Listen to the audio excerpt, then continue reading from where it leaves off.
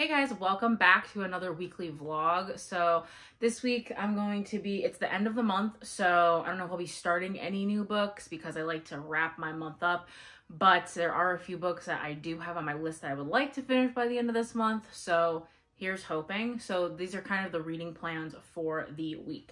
So currently I am 40% of the way through Heir of Fire by Sarah J Maas. Um, this is the third book in the Throne of Glass series um, or the fourth book, I guess, if you, however you choose to read it. There's two ways to read the series. You can either read Assassin's Blade fourth, which is how I'm reading it, which I think is called the Romantic Order, or you can read it at the beginning of the series before Throne of Glass, which I think is like the sequential order because all of the everything in here takes place before Throne of Glass. Um, but yeah, so I'm reading in the Romantic Order. So technically for me this is the third book in the series. So again 40% through this. I'm really enjoying it so far. Um, i'm really liking it's, it's hard to talk about because it's the third book in the series but i'm really liking where it's going and i'm enjoying um, just seeing Celaena in this new environment and with these with these people and I'm thoroughly having a good time. Um, I was nervous to read it because I wasn't like obsessed with the first and second book, but people, a lot of people say that in the third book, like things just get better, and I can definitely see that. So I am loving it. And I'm also hoping to finally finish up Tress of the Emerald Sea by Brandon Sanderson. I really would like to finish this book by the end of the month. Um, I am on page 117, but I've been annotating it, which is why it's been taking me longer, and I've just been like taking my time with it. The last time I picked this book up was the challenge for um the 24 hour like reading challenge that I did. So I have not picked it up since, but it's and it's hard because I do genuinely like the book, but it's just not like fast paced enough.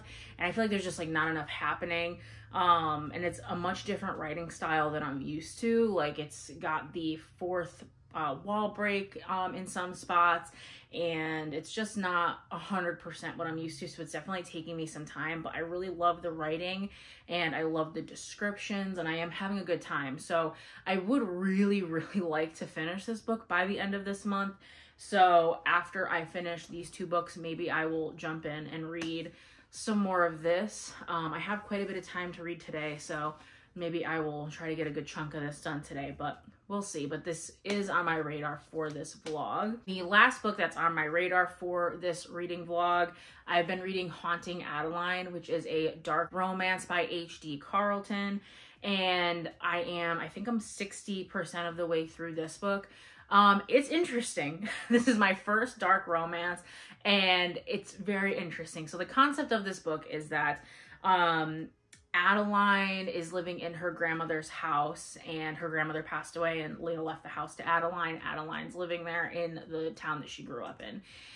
And when she, while she's there, she's being stalked by Zade and you get it's dual POV, which I really love in a book. Um, and so you're getting Adeline's point of view and Zade's point of view, and the way they have it is her POVs are called the manipulator, and his POVs are called the stalker. And essentially, he's kind of he's stalking her. Um, but you learn like right at the beginning of the book that he actually Zade actually runs a ring or a I forget I don't know what it's called like Sting organization like he has this whole company and I think the company is just called the Z. And it's like he's like a world renowned hacker and so what he does is he goes in and he busts up like sex trafficking child trafficking all these like human trafficking rings and like saves the victims and you know brings the people to justice uh, you know that are you know doing these things um, and so you learn that about him, you know, pretty early on. And so in his POV, you're kind of following him, obviously stalking Adeline, but you're also following him as he's going through and busting up some trafficking rings and learning more about that. And honestly, that side of things, like reading about that is so interesting. Like, because you know this stuff happens, but you know, obviously it's not on everyone's daily radar. And honestly, it kind of should be because that stuff is terrifying. Um, so like just reading about it is kind of crazy and a little bit scary, but um, I feel like it's something that you know should still be talked about and thought about because stuff like that happens every single day. Um and so it's just interesting to read about it in a in a book because i haven't really read any books that had anything to do with like human trafficking sex trafficking child trafficking like things like that. And so it's just interesting to like to see to read about that. Um and then on adeline's side of things you know she's an author and she works with her best friend uh daya i think is how you pronounce her name. And her best friend is uh, also a hacker. And so she you know sets up you know she just does all these things to help um adeline. And you know she's like adeline's assistant as well and works with adeline in a lot of a lot of ways on her um author side of things so you have these two POVs, and Zade starts, you know, making himself more known in Adeline's life because she obviously realizes she has a stalker. And so you go through the motions. You go through the whole stalker thing and through her being an author and through him having this organization that he runs. And so the, that's kind of the main thing that I'm getting right now by reading their POVs. That's what we're we have the stalking, the child, all the trafficking rings, and her being an author and kind of dealing with things in her life. Um, and I don't know, it's just a very interesting book. I mean, it's a dark romance, so there's essentially the plot of this book is that she starts to fall for her stalker. And it's an interesting premise. Uh, like I said, it's the first one that I've read. There are some very intense scenes um, but honestly, I, I think I am enjoying the other plots a lot, like the Adeline's whole life that we're learning about, like her grandmother, her great grandmother, like really enjoying that. And like then there's the whole like mystery aspect of like you know Zade being a stalker, and and that you know Adeline has no idea who he is, and so it's just like that whole like mystery aspect as well. And so i'm enjoying it. The romance parts are a little bit intense. Um and questionable, but I am still enjoying it. Like I said, I'm 62% through and it's a duology. It's um, called the cat and mouse duology. And um, so we'll see. I don't know if I'm going to continue on with the second one, but like I said, I'm enjoying the first one and I'm here for the ride. So those are the three books that I'm looking to wrap up by the end of the month. So I will catch y'all later.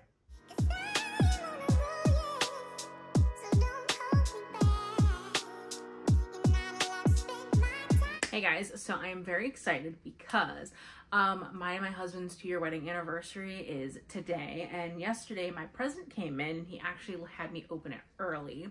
So I'm so excited because he got me the first seven volumes of Yona of the Dawn. And you guys, I am so stoked. Katie is reading, has been talking about these manga for a very long time, and she is absolutely obsessed. I'm pretty sure it's like a fantasy romance manga. And the covers on these alone are stunning. There's like 40 volumes.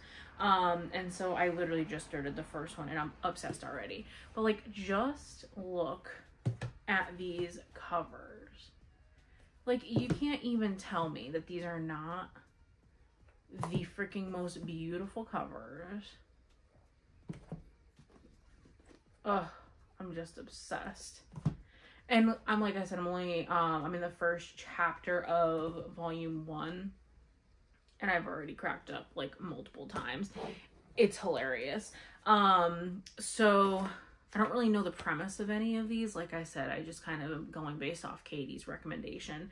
Um, but on the back it says Princess Yona lives an ideal life as the only princess of her kingdom doted on by her father, the king, and protected by her faithful guard, Hak.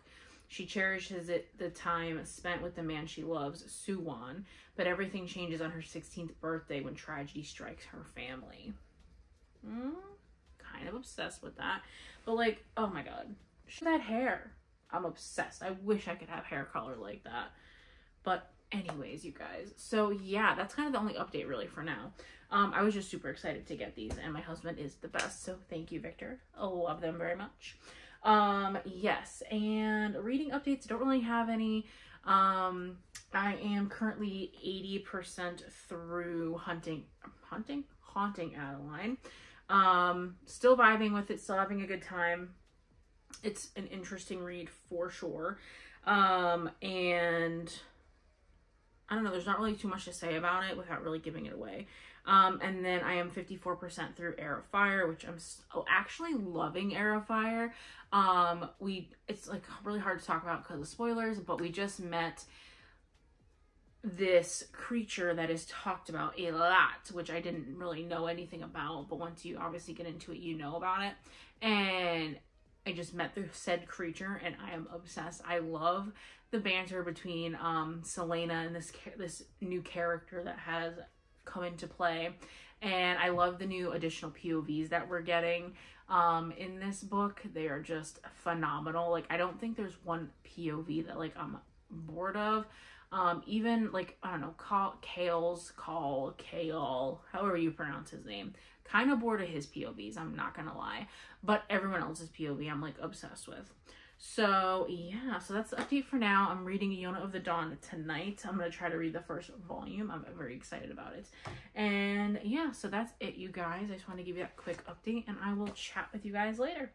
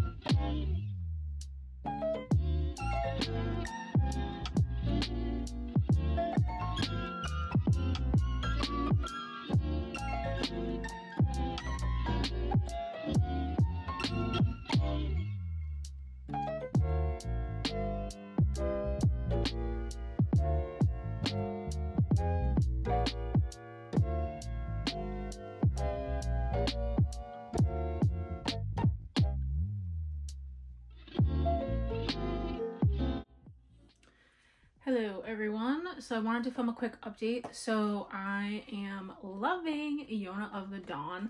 I'm on chapter 4, Distant Skies, and this book is giving. There's been love, there's been betrayal, all in the first three chapters, you guys. So I can only wait to see what the rest of this manga has in store for me and the rest of the series. Again, 40 volumes. So I'm very excited. Um, so I'm going to be continuing this. I'm hoping to finish this up tonight. Um, I only have a little bit left. So definitely to be finishing this. And then, so today is the 28th, which means the end of the month is nearing. And we all know what that means for me because I need to finish books. So I have two books that I need to finish by Friday night in order to wrap out the month and film my reading wrap up on Saturday. So um, the first one is going to be Haunting Adeline by um, H.D. Carlton, and I'm on uh, page 434, and I'm still loving. It's so weird. Like I feel like I'm liking the actual plot of the book more than the smutty rom like dark romance aspect of it. Like don't get me wrong, those scenes are because I love a good tension filled moment, but I just feel like the whole plot itself is just so interesting that that's kind of like to me just like what I've been enjoying more. Um I still don't know if I'm going to read the second one. I've heard that this one ends on a pretty big cliffhanger. I already have a prediction as to what it's going to be, but we'll see. So I'm 80% through this. I have just about under 100 pages left. So I am really hoping that I can um, finish Yona and maybe finish this, but I am absolutely loving it. Like I said, I listened to it um, when I was driving around after work to go get groceries and all that, and I'm on page 329. So this one I have quite a bit of ways to go because I think there's like 562 pages and I'm at 329, so I have over 200 pages left. Uh, but I'm loving this book so much. Like it is so good. Like I like it so much better than the first two. Um but it's just I love the POVs in this book so much more. Like I love the characters that we've been introduced to and the creatures we've been introduced to and just where the plot is going. I am obsessed. So I don't know which I want to read tonight. I think I'm just going to try to finish Yona, try to finish um, Haunting Adeline. That way tomorrow. I have a hair appointment, so I'm hoping I get some reading done, but I haven't seen my hairdresser in a minute because she actually just had her first baby. Um, and he is adorable. So me and her probably gonna have a lot to catch up on. Um, but I'm hoping that I'll have time to finish, um, you know, reading one of the books because I only have today, tomorrow, and Friday. So my goal is to, like I said, finish Yona today and then likely finish Haunting Adeline. That way I can focus on Heir of Fire Thursday and Friday. So we shall see.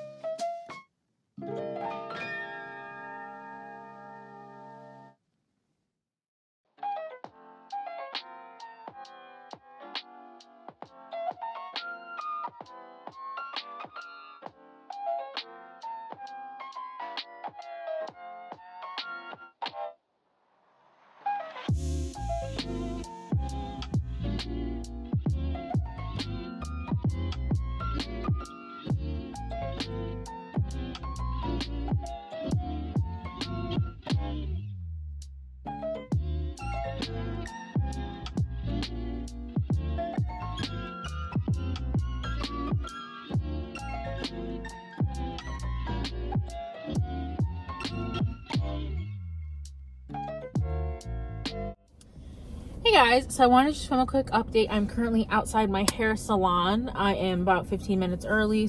Figured I would film a quick update. So, did finish Yona of the Dawn last night. I really, really like that. I gave it a four stars. It was honestly just so cute and so wholesome. And I am like just loving where the story is going so far. And I love our main character. Yona is amazing and I'm very excited to just kind of see where this series progresses because like I said there's 40 volumes so we have a long way to go. There's also an anime um, so I have to figure out what volumes of the manga that anime follows. That way I can like read those and then watch it because I definitely want to watch it.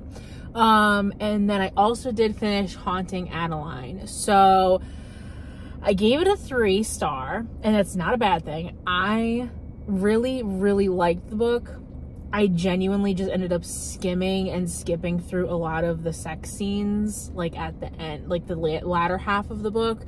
Um, just because I felt, I mean, I know that's what the point of this book is. So I'm, I'm not saying it's a bad book because of that, because that's literally why people love the book so much is because of those scenes, which is totally fine. Like, uh, I love smut scenes as much as the next person, but, um, I just felt like they were happening like a lot for for me. So that was kind of why I knocked it down a star. Um, but I love Zade, even though he is clearly morally gray. Um, and I do love Addie. I think she is honestly badass. And I love the way that like she comforts Zade and like how their relationship like grows when it's not just the sexual feelings between them. Like I liked seeing their emotional connections grow. And so that was one of the main reasons I really loved it was because obviously things started out in a uh, rocky manner. Um, but I do think that things progress. And I just want to put this out there that I in no way, shape, or form condone how their relationship started. This is a fictional book and it's in a fictional world. And obviously in real life, that would never be okay. Um, and so I just wanted to kind of put that disclaimer out there because I know that this book is kind of is pretty intense. Um, so I did just want to say that. Um, but one thing I also, which I've talked about before in this vlog, is that I really, really loved the actual plot of the book besides the romance. So you're following Zade, who is, he owns Z, which is his company that um, follows, tracks down, and saves, you know, uh, kids, women, people in, involved in like human and sex trafficking. And I really enjoyed learning about, even learning about, but just seeing the plot line progress from like him in his hacker days to what you know everything that happens throughout and um and at the end so i definitely think it's very interesting to just um to read about that because it's a plot that's not typically talked about and it was honestly very unexpected. Like i know that this was a dark book but i just didn't know exactly what the rest of the plot was about because i don't read the blurbs so i really didn't know much about it but i thoroughly enjoyed it um like that aspect just reading about it. Like it was just interesting. It kept me on my toes. There was like the added murder mystery um for Addie's grandmother and like that was really interesting. So there were like these little aspects that I really, really loved. Um, I just think, like I said, the sex scenes just got to be like too much for me. Um, there was a lot and they were like long. They were like chapter, like a chapter long. And I'm like, okay, you could only tell me you're putting it in so many holes so many times where I want to keep reading it. Like, again, I've read books that have smut scenes in it. Okay? And I love them. Don't get me wrong. But this was just too much for me. Um, but it was fine. I was skimming over them, like not really. And I, and honestly, a good thing is that I didn't feel like I was losing anything by skipping those scenes. Like I feel like if you skip those scenes and you feel like you're losing out on character development and like relationship development, that the romance in the book honestly is just not good. But because I didn't feel like when I was skipping those scenes, I was losing out on anything. Like I honestly could have done completely without those scenes and I still would have loved the characters just as much. Um, and now the book does end on a cliffhanger. I haven't decided if I'm going to read the next book yet. I might pick it up, just not right now. Um, cause I'm also currently reading Heir of Fire. I'm on chapter 40 of Heir of Fire. I am loving Heir of Fire so much, you guys. Oh my God. I, when people tell you to push through those first couple books, they are not lying. Not that Throne of Glass and Crown of Midnight were bad. Throne of Glass honestly wasn't my favorite. I think I gave it like three stars. Crown of Midnight I gave four. I did enjoy it. But Heir of Fire was looking to be like a four and a half, 4.75. Like I am obsessed with the POVs. I'm obsessed with the new characters we've been introduced to. I'm loving it. So yeah, so that's the update for now. I am gonna go to the hairdresser. My bestie, Andrea, she does a phenomenal job with my hair. Um, I have been like trying to go blonde literally my entire life. And uh, I went to a hairdresser before her and when I was going blonde, I literally hated how it looked. And so I just dyed my hair like every other color under the sun. Um, I used to have like red hair, I've had blue hair, I've had purple hair, I've had like bajillion colors. Um, but uh, when I started working at my old job, I met my best friend Amanda. And when she got married, she had Andrea do her hair and makeup for the wedding and she looked absolutely stunning on her wedding day. And so then I, when I got proposed to, I was like, okay, she's also doing my hair and makeup. So then I started going to her because I realized I wanted to be blonde for my wedding. And so then she took me, I'll insert pictures because she's amazing. If you guys are in Connecticut, I definitely recommend her. She's phenomenal. Um, but she took me from all these different, you know, these brown, red, brassy to like horrible. And like I'll pop in later after I'm done and I'll show you guys what my hair looks like. And like, and I'll show pictures from like my wedding and all that. She did such an amazing job. I absolutely love her. And shout out to Amanda for getting me to her because I've been going to Andrea now for I think two and a half years, almost three years, which is kind of crazy. I feel like that's the longest I've ever gone to a single hairdresser because I feel like none of them have known what they're doing and she knows what she's doing. So absolutely love her. Um, so again, her name is Andrea, but she works at Taro's beauty studio in Rocky Hill. Um, and she's absolutely amazing. She, yeah, so that's the update for now. I'll pop in later and I'll touch base with you guys.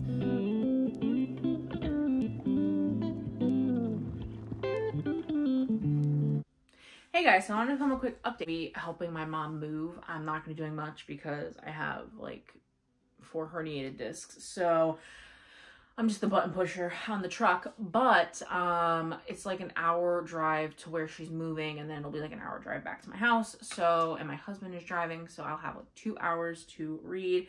I will be editing my um, June reading wrap up on that drive as well but I will primarily be reading probably Heir of Fire. I'm going to bring my Kindle with me so I can hopefully get some reading done. Um, so that is the game plan. Also, I wanted to give you guys a quick update on my hair. So this is the hair. blonder, a little bit shorter, just a little trim, and I love her so much. She worked her magic per usual. Um, so yeah, that's the update for now. I'll keep y'all posted and we'll check in later. Hey guys, so I just got back from my um, mom's and moving her from her house to the other house. So guess what showed up on my door? My Fairy Loot box. And I'm pretty sure that this is my Stolen Heir um, edition by Holly Black, which I'm stoked about. I do have the regular like Barnes & Noble exclusive, but when I saw this, I just had to get it. Oh my god, you guys. It is beautiful, and I can already tell. Ah. Oh. Alright, let's unwrap this. Oh my god. It is so pretty. Stop it. This is freaking stunning. And it has the gold edges. Stop. And it has a quote on the back, a runaway queen, a reluctant prince, and a quest that may destroy them both. Oh my god, that is oh, this is so beautiful. So for those who don't know, this The Stolen Heir is the um start of another series that Holly Black is writing, but it is about this is Oak from The Cruel Prince, which is Jude's younger brother, and this is Ren, which if you guys read The Cruel Prince, you'll know who she is as well. She is a part of that trilogy towards the end. Um, so I'm so excited. I've been waiting to read this. Oh wow, I just can't get over these edges. So let's open it up because I don't know if it has oh stop it. This is I'm gonna take the dust jacket off. Oh, stop. That is absolutely stunning. I'm obsessed. And there's like on the back too. So this is the end paper art. So pretty. Oh, wow. Oh my god. It's like a little, she wrote a little note in here and she signed it.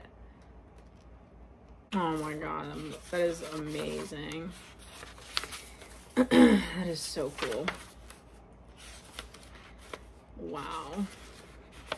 And her maps are so cool. I love the way that she does her maps. I'm so excited to read this. All right, let's check out the back. Oh, it's the same one. It's a stunning edition, but absolutely obsessed. So I love ordering from Fairy Loot. Their stuff is such good quality. I'm just, I cannot get over these gold edges. This will definitely be going on display. I just love the dust jacket too. So, and I have also ordered the Litjoy versions of the Cruel Prince trilogy. Um, so I'm very excited to get those. I don't know when those are going to come in, but I believe those also have the gold edges. So all of the books will kind of match, I think, which is so exciting. But yeah, this book is just stunning. Anyways, I'm obsessed. I love ordering Fairy Loot books. They are just so pretty. I mean, when I can get my hands on them anyways, because um, they are so hard to get. I think that the only other special edition books that I'm currently waiting for, I have like pre-ordered books. Like I pre-ordered Iron Flame from Waterstones. Um, and then I'm waiting on The Cruel Prince from Litjoy. But I think that's it. I don't think I have any. I have a bunch of like reminders set in my phone to order other Fairy Loot um, exclusives. So like I have one for um, Things We Never Got Over. Um, and I have a few. I don't remember. I can't remember for the life of me what the other ones are. But I always put reminders in my phones to go and order them because I just think all like the fairy loot books are so stunning. And like I never know if I'm gonna get into a series or not. So I think that like fill you know buying ones even if like I don't know if I'm gonna like it or not. I mean like I said this is the first I mean I already know I love the Cruel Prince it's literally a five star series for me but I don't know if I'm gonna like the Stolen Heir. People love the Stolen Heir, but I haven't read it, and this is technically the first book in her new series. I don't know if it's like a duology or a trilogy or what, um, how many books there are gonna be, but yeah, I mean, I just, I can't stop looking at this cover. It's just so pretty. Ugh, I'm obsessed. This makes me so excited to read this, honestly. Like, I have the Barnes & Noble. This is the Barnes & Noble exclusive edition, and I actually bought this on drop day. And, I mean, don't get me wrong. It is a beautiful one but you know it's just i i wish barnes noble did better exclusives like i feel like all they do is they just do like a different cover and it's not even like a cool cover like um this is kind of cool which i don't know if this is part of the exclusive or not but the naked cover for the barnes noble has the fox on it and i do love this. I love the naked cover for this. I think it's stunning and i love the blue. Um so this is really really nice. And I would honestly probably display. So um, I would probably just keep, I would keep this, but if I were to display these two books together, like I would honestly probably display them like this with the naked um, cover for this one and then the, because I just love this cover. So I would probably just display them like that. And then when I get my um, Lit Joy for Cruel Prince, I'm going to probably do like a little shelf, like a Cruel Prince shelf because I own, you know, the three original Cruel Prince books, and then I'll have the exclusives, and then I will also have these two books. So I'm very excited, and I hope when the next book of this one comes out, they'll do it, um, they'll do like a matching one, which I think they usually do, so I'm not like too worried about that, but yes, I'm very excited, and when I read it, I don't even know if I would honestly read the exclusive version. I might just read the um the Barnes and Noble one just because I don't know. But I do love this fox. Anyways, it's just turned into like a sto whole Stolen Heir clip. Um because I think when I bought this, I didn't I wasn't really into like buying like FairyLoot or anything like that. Like I just was kind of buying whatever. Like I didn't care if it was exclusives. I didn't care if it was signed, like anything like that but the longer that I've been doing this, the more I just I want like these really cool like the what this is the Waterstones exclusive for Life of Puppets. This is FairyLoot. This is um this is just a Dracula version that I found at Barnes and Noble. This is obviously just the fourth wing. This was a Barnes and Noble exclusive. This was as well. Um, but I just love having like the cool edges, the cool um like the dust jackets and um like the exclusives. Like it's just amazing. So yeah. So that's that. I think that's the whole clip. I don't really have anything else to update you guys on. So um we did we went moved my mom and then we I while I was doing that I was on sprints because with Katie's Patreon she was doing sprints and I wasn't really reading but during their chatty sessions, like I was like on my phone, we were driving. So my husband was driving. And I think I convinced Katie to read Zodiac Academy because I love Zodiac. We, we all know I love Zodiac Academy. And like I like low key convinced myself to read book six. So um, I think I also convinced some of the other girls in the chat to pick up ZA. But honestly, I'm not mad about it. Pick it up. It's it's like literally the trashy fantasy romance we all need in our lives. So yeah. So anyways, I'm going to put these two on a shelf together. And I'm very excited because this book is so pretty. Let me not touch my face to it because I was like wearing makeup this morning. Who knows if I am now. I like probably sweat it all off. But um, but yeah, just beautiful. So a couple of chapters of Heir of Fire. Still loving it. Rowan it's really hard to talk about because I don't know there's a lot of spoilers, like, because I'm in the third book in the series. I'm just loving the characters so much in this book. The characters, the POVs, like, I'm obsessed. The only POV that I don't like is Chaol. I think he's annoying, so we'll throw that out there. But I'm loving every other POV, honestly. So, yeah. So that's the update for now, and I'm going to be reading in a little bit. I don't know if I'm going to pick up Happy Place or if I'm going to pick up of Fire, but one of them. And I will touch base with y'all later. Good morning, people. So literally the only purpose of this clip is to say that I love coffee. And I'm so grateful for it, honestly. Mm. Love it. Anyways, today is Sunday and it is rainy, which honestly is kind of perfect Sunday reading weather. So, um, and just hunkering down and reading for the day. So my goal is to try to read as much of Heir of Fire today as possible. I think I have less than 200 pages left. So my goal is to try to just finish as much of that today as possible. Um, if I can finish the book, that would be lovely, but it's all right. Um, the, for now, I'm gonna go back inside my home, drink my coffee, and watch some sprints, do some reading, hang out with my cats. So, catch you guys later.